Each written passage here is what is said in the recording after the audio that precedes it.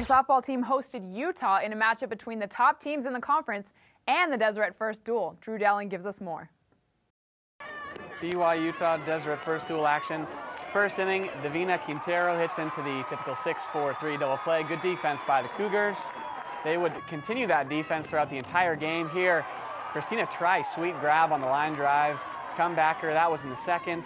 Second inning still, Jessica Purcell, she takes off for second, is in there safely, and Daniela Snow, excuse me, Angeline Quiocho takes home, and Purcell advances to third. It's a little small, small base, small softball for BYU. Then in the third, Amanda Vance scores. Daniela Snow reaches third as a result of the error and bad defense by the Utes. Good defense here, though, by the Cougars. Quiocho, sweet diving catch on the infield. And then BYU just kind of pours it on from there. Single up the middle, scoring a run.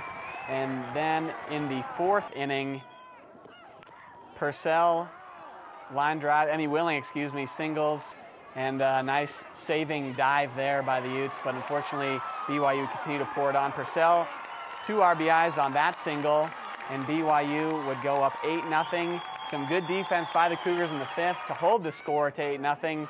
Here, um, Andrea Hoffman for the Utes fouls down the line. Sweet diving play by Stephanie Hopkins, taking it a look. And check out the umpire. He's getting into this call. The little judo chop. Thank you very much. Continued in the fifth inning. Hemingway flies out to Purcell. BYU wins 8 0. Trice, nice job on my fantasy team. She gets the shutout, and BYU slaughters Utah 8 0.